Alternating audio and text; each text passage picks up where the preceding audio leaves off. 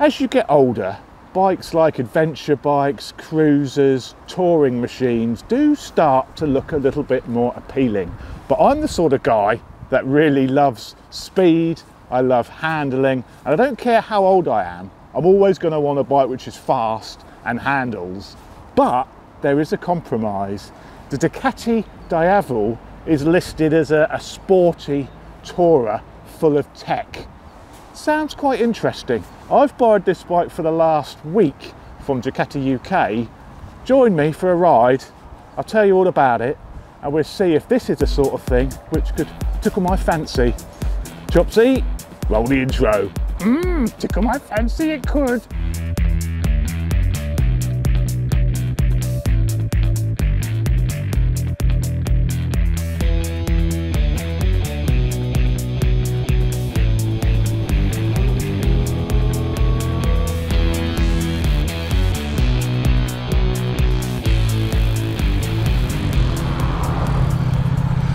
So the Ducati Diavel.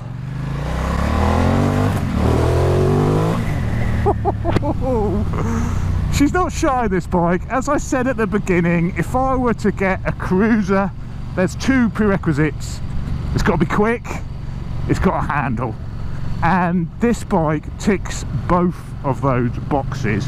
It is a, this says a 1260cc Testastrada engine, I think it is. Testastrada, I think. That's the one with the DVT. No, not deep vein thrombosis, Ducati valve timing. So it's got sort of the variable valve timing, the Ducati version of, I think actually it's the same motor which was in the old V2 Multistrada. It's that lump, you know, a proven lump, absolutely proven lump. This engine's been around for donkey's years and it's been refined, refined over the years. So you have 160 horsepower of Ducati's finest horsepower and 121 newton meters of torque. So it is a glunchy. The great thing about this bike though, and I think the reason it handles so well is because it only weighs, only, 121 kilos dry. So when you compare that to the Triumph Rocket, which weighs nearly 300 kilos, you start to see why this thing might be a little bit more nimble in the twisties.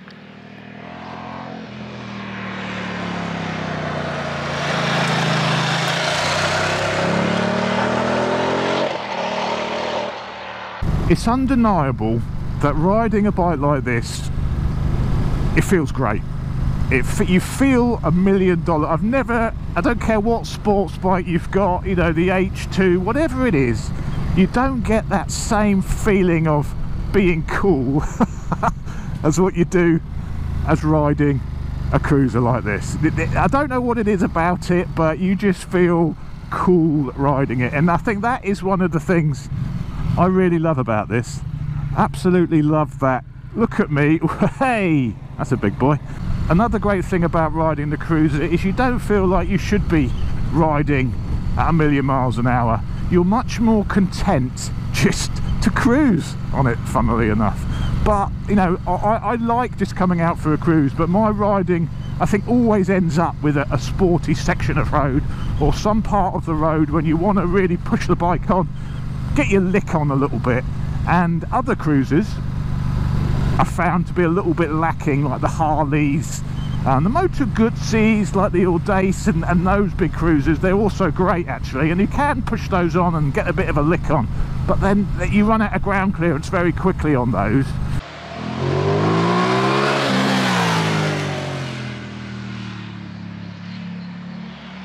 You know it's it's not a super sport. It's not a middleweight naked. You know it takes it's a different sensation to push it into the bends especially with your feet forward. It is different but they are still rewarding. They are still very rewarding to push it into the corners get a lick on bend it over a little bit and come on the power and, and it does squirm a little bit you know. It's it's the suspension is sort of taut on this. It's not a soft wallowy thing at all. This compared to the the Triumph compared to the Rocket this you can feel the texture in the tarmac much more. You know this it doesn't just ride over it you can't actually feel what you're riding on. You can actually feel the texture of the tarmac especially on this road because it is extremely bumpy. The suspension is quite stiff on this which is why it handles. I mean Ducati market this as they do three different versions of this bike. This is the one they market as the sportiest of the three. So this has the most torque suspension this one also has the forged wheels as well so lightweight wheels to make it a little bit more nimble.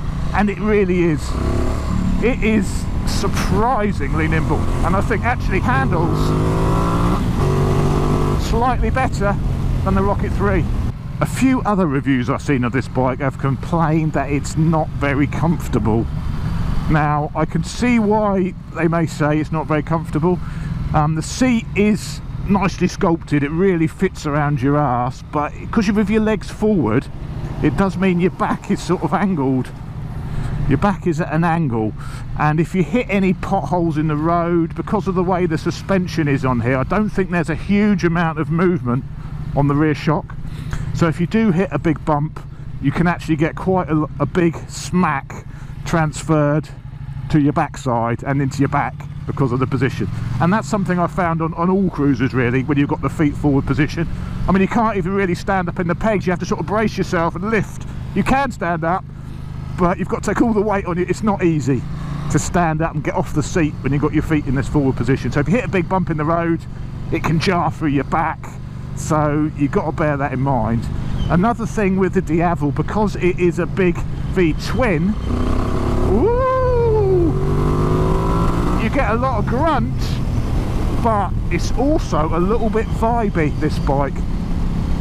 It, I don't think this V-twin motor is as refined as some of its competition.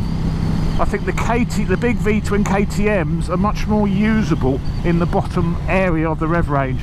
Below 3000 revs if you give this a bit of welly so third gear two and a half thousand revs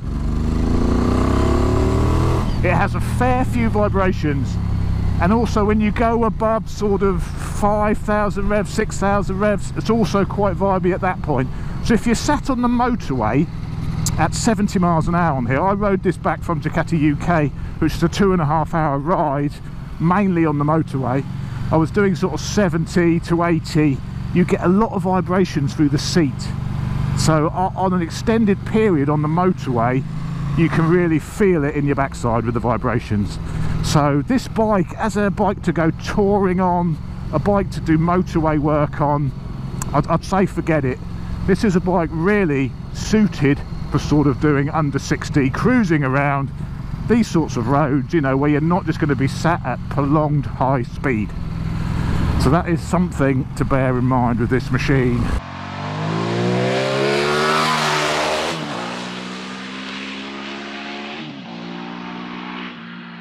is what I'm talking about handling that you can push it into the bed. You've got to be a little bit brave. You've got to do a little bit of counter steering on the bars. Use the rear brake to sort of set your speed going into the corners so you don't unsettle the suspension too much. But you know you can have fun.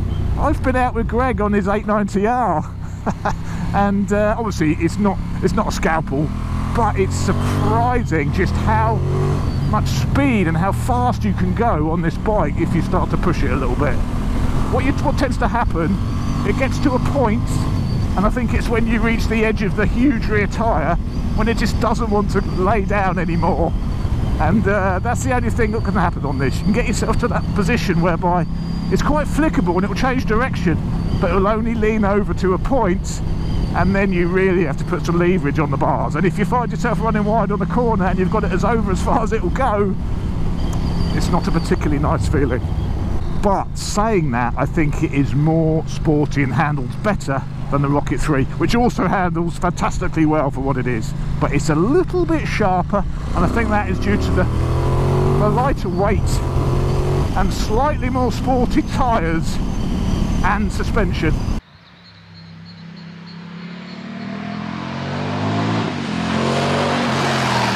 Anyway, let's slow it down a little bit. This is about cruising.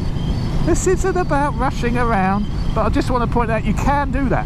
And that's the thing, this bike could be my only machine in the garage because it delivers enough performance in a straight line and on the twisties to satisfy my hooliganism, my hooliganist nature. So let's try it on my favourite little set of twisty bends. I keep banging on about how it handles. Let's have a look.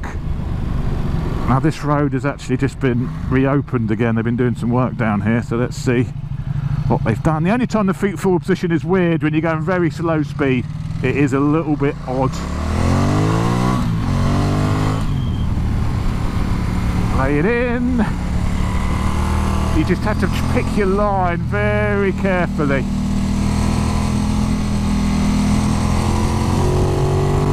Full electronics obviously, traction control, blah de blah blah, various modes, you can adjust it all as well. See what I mean? I mean, it's pretty, for a big old cruiser you would not expect it. And that is what I love about it actually. You get behind a sports bike and they're like, bloody hell, who is this guy sticking on my ass on his cruiser? I love that feeling of surprising other bikes with what you're riding, how fast, how they handle. And this is, uh, I think, the top of the list of the surprise bikes for handling.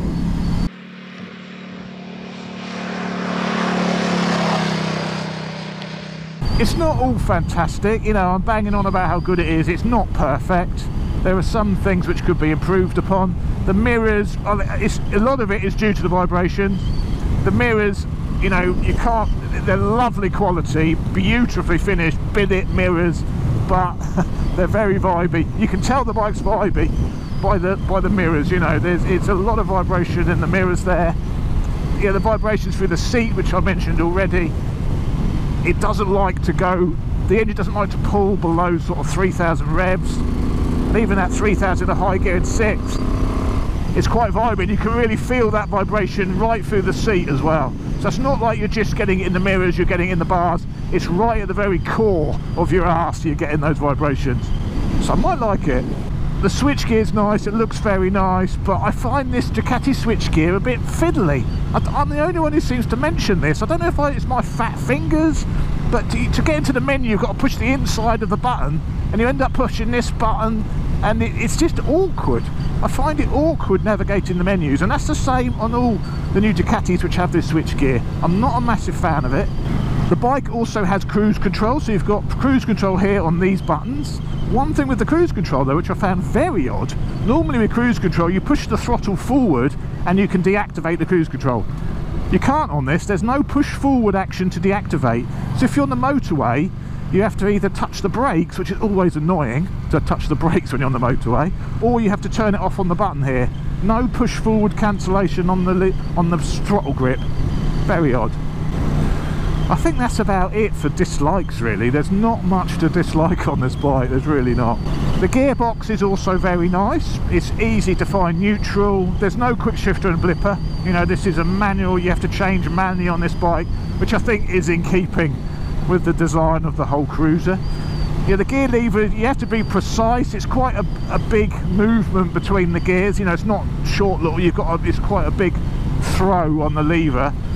But it, you know, it's a nice feeling gearbox. You do sometimes when you change down, you know, have to give it a little blip of the throttle to, to match the revs a little bit. But it's all part of the experience, it's all part of the ride. What I do like is it's very easy to find neutral. It's, uh, it is, it's quite a sweet gearbox one of the things I also really love about this bike is the fit and finish. It looks fabulous. It looks absolutely fabulous. I think it's one of the best finished Ducatis in the range. What we'll do in a sec, we'll pull over and we'll just go around the features and, and, and some of the details of this machine because it is exquisite. Exquisite.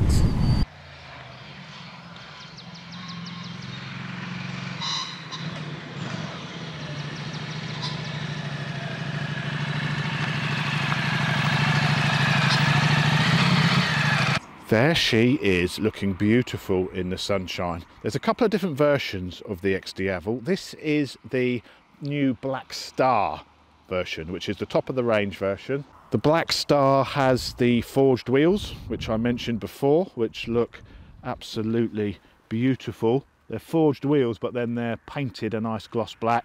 Love it. As well as the forged wheels, the Black Star has this lovely paint job. These red highlights on the tank, the silver, the gunmetal, and the matte black with the red highlights. I absolutely love the colours on this bike. I think it looks amazing. The Black Star also has this lovely suede seat Oh, that's quite warm. I think the actual exhaust goes underneath of the seat. So the bottom of this seat, there's a lot of heat reflective material on it, but I've not noticed excessive heat riding this bike. A few people have said if you found it hot, I haven't, but when I put my hand on that seat, it does feel a little bit warm now. It's been sat there. If you come around the other side, it's the same story. Gloss black engine, even gloss black cylinders, and then you've got lovely red rockers front and rear. That is just a, a Black Star edition with the red rockers. Love it. The bike's belt drive, so it's not shaft drive like the Rocket, it's belt drive, but that's all good because the belt, you know, you don't have to maintain the belt so much. Um, you know, you don't have to oil the chains and you don't have to oil them or anything. So belt drive, not sure how long it lasts, not sure how much it is to replace, but it is relatively maintenance free. The rear of the bike is a little bit special. That huge rear Pirelli tyre, that back end, the back lights, and then of course you've got one of these uh, arrangements with the lower mudguard. Pirelli Rosso 3 tyres. Yeah, we're getting a good use out of those tyres. Exhaust looks nice. It's a little bit quiet. I'd like a little bit more volume, which is unusual because all the latest Ducatis I've ridden have actually all been very loud. This one could do with a little bit more volume standard, so a pipe may be needed. Bike also has all this lovely arrangement with the radiator and the oil cooler, a nice little X below on the uh, like belly pan. Now I think this is the same dash which is actually on the V2 Panigale, the Hypermotard. It's like the smaller TFT which Ducati do. I think it's in line with the bike. It's, it's a little bit small to read some things at times. And an amazing thing about this bike for a Ducati, look there, it's got a blooming fuel gauge. Hoorah! Illuminated switchgear with an X here for X Diavel. I think that's more by uh, luck than design though.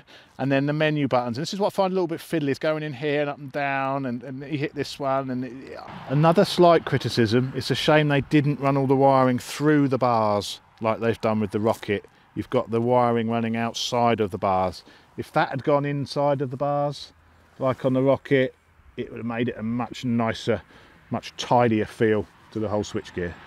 So the XDiavel, I really like this bike. I, I, find myself drawn more and more to cruisers these days. I think it, I don't know if it's an age thing, I don't know what it is, but I think as you get older, you get more and more drawn to this sort of bike. And if I had to get a cruiser, as I said at the beginning, it would have to be sporty. It would have to handle. It would have to be comfortable and it would definitely be a, a be between the Diavel and the new Triumph Rocket. I'd have to ride the Rocket again to let you know definitively which one I prefer. I have a feeling this one handles slightly better than the Rocket, but the Rocket is a little bit more comfortable and perhaps a bit faster. I don't know, but they're very, very close. It would have to be a back-to-back -back comparison to be able to decide which one of these two would take my money. They're very similar price. The Rocket is just over 20 grand. This Black Star's 21. The S version of the XD XDiavel is 20, so the same price as the Rocket. So uh, money, there's not much between the bikes. It would all be down to feel. Fit and finish is probably not much in it as well. The, the Triumph is also built beautifully, but the Ducati could have the very, very slight edge on fit and finish over the Triumph but uh, perhaps it'll be a back-to-back -back comparison of the two a bit later on in the year to help me decide when I'm ready to buy my cruiser. Thanks very much for watching. As always really appreciate it. If you like the video don't forget to hit the like button. It does keep the youtube gods happy. And if you're not already a subscriber please consider subscribing because I do a lot of reviews like this riding all sorts of different bikes and also stuff in the garage maintenance jobs build series on bikes and stuff like that. So there's always something entertaining to watch but thanks for watching as always, and I'll see you on the next video. Cheers. This is power level one, which is full power.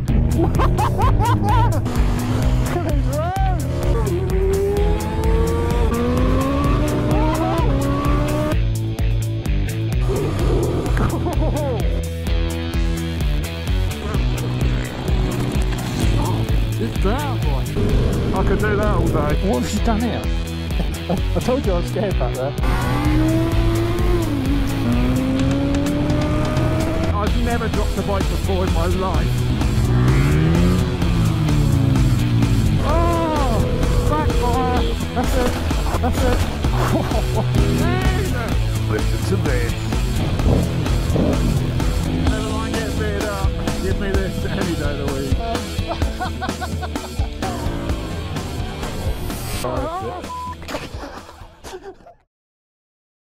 I'm reaching that age where bikes like super sports and supermotos start to lose their appeal and things like cruisers start to become on your radar.